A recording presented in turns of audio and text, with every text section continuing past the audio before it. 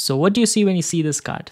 Well, many articles are claiming that Meta's new AI can understand images similar to how humans do. I don't know how much of that is true or how much of it is just an attention grabbing tagline. To me, it's important to understand what the network does at a technical level and have enough information to decide for ourselves how we see it. And so today we are talking about all of that. We're talking about this new paper called self-supervised learning from images with a joint embedding predictive architecture that introduces I-JEPA. So what's so special about this model? How does it work? And why could this be important for the future of computer vision research? Let's discuss all of that in this episode of Neural Breakdown, a series where I explain emerging research in machine learning and AI and also provide some technical and intuitive background about some of the fundamentals that these new algorithms are built on. If you like this video, do hit the like button and let me know in the comments. Your feedback means a lot to me. Um, let's go. So minus all the memories I have with this card, I see a Valentine's or a Friendship Day card with a cartoony smiling bear, some text, um, and a lovely homely vibe uh, that comes from it. Um, as humans, we view objects, colors, and shapes in the world as concepts, ideas, and high-level abstractions.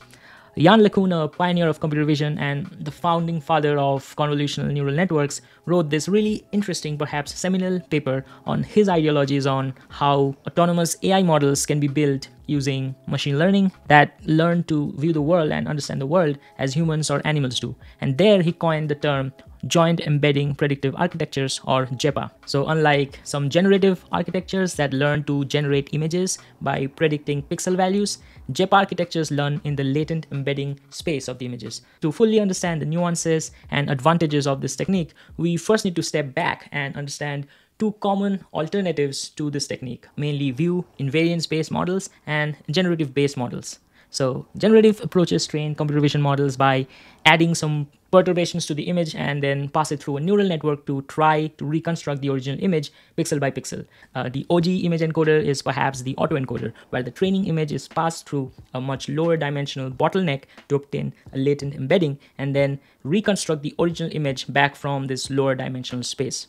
There are also modern transformer-based methods like the masked autoencoder that divides the images into multiple non-overlapping patches and mask out a random selection of the image and then train the model to reconstruct the missing pixels from the input image. The other approach is view invariance based joint embedding methods. Here we generate random augmentations of a batch of input images and basically train the model to discriminate between which augmentations are from the same image and which aren't. Basically we want the embeddings of similar images to be mapped close to each other and dissimilar images to be mapped farther apart. Uh, however, one of the long-standing issues with methods like this is called representation collapse, where the neural network's embeddings become overly concentrated or collapsed to a small region in the embedding space, and they aren't diverse enough to differentiate between incompatible images. Uh, one popular way to combat this is contrastive learning, where along with positive pairs of examples, the network is also shown negative examples and asks to minimize the distance between pairs of augmentations coming from the same image and maximize the distance between the negative pairs. An example of this is the SimCLR model that uses contrastive learning to correlate different augmentations of the same image, like cropping, translating, color correcting, and more. So I've previously made a video about multimodal machine learning that covers a lot of other applications of contrastive learning, and I link that in the description below if you people are interested. Other than contrastive learning, there are other approaches to view invariance-based methods as well, like clustering, information maximization, asymmetric architectural design, but those are topics for a separate video. Both generative and invariance-based methods are well-researched topics in the field of self-supervised learning. Because they are self-supervised, we can learn representative embeddings from a large volume of unlabeled images available on the internet. To use these pre-trained networks on downstream supervised tasks like classification, Uh, which does require labels, we can add small trainable layers on top of the pre-trained encoder part of the network and then fine-tune the model on the target dataset.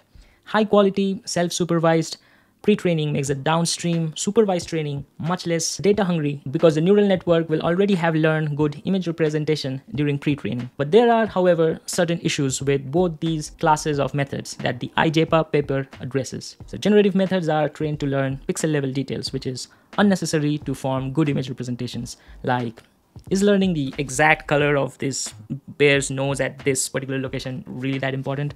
And on the other hand, invariance-based methods are susceptible to representation collapse, as I just talked about, but they can also be really sensitive to the kind of augmentations or distortions that we used. So aggressive augmentations might result in the image losing key information, and that makes the training process noisy and unproductive. The I-JEPA method's architecture is quite simple. The goal is similar to mask autoencoders, that is to predict representations of various target blocks of an image given a context block from the same image. However, instead of directly predicting pixel values like mask autoencoders do, I-JEPA works entirely in the latent embedding space. Here's how. The model uses two vision transformer encoder blocks, the context encoder and the target encoder. Given an input image, we divide it up into a sequence of non-overlapping patches and then input them through the target encoder to obtain embeddings for each patch. From these patches, a random selection of target blocks are selected for the loss calculation.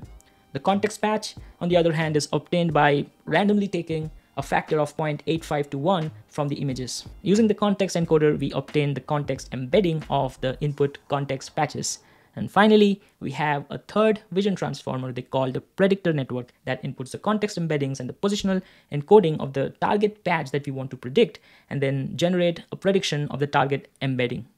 The loss to train the network is simply the L2 distance from these predictions and the actual target embeddings that we obtain through the target encoder. Note that the loss is only used to update the weights of the context encoder and the predictor network. The target encoder weights on the other hand is not updated via gradient descent and instead updated at each iteration via an exponentially moving average of the context encoder's weights.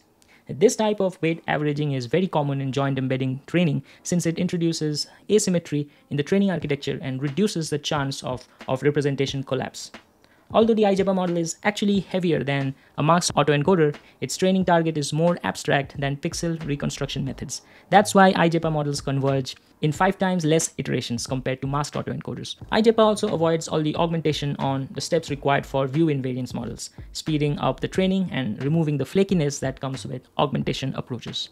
Additionally, this architecture is not just limited to images, but can be applied to other domains as well, like audio and text. This paper heavily references the data2vec paper that uses a similar strategy to train self-supervised models on a variety of different modalities.